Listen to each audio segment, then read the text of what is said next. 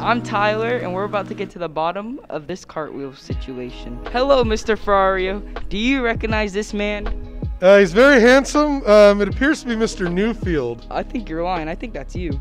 I mean, I kind of see the resemblance. Like, again, he is a very handsome fella. What is the backstory behind this? Why are you doing a cartwheel? I challenged a certain group of students to all be present during the same day, and I said, if you were, I will go do a what I called a fat man cartwheel. Where did you get your cartwheel skills from?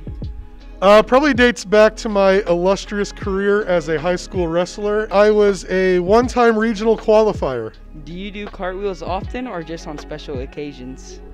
That may be the first one I've done since Bill Clinton was president. Would you do a cartwheel right now for us? I'm not dressed for it right now.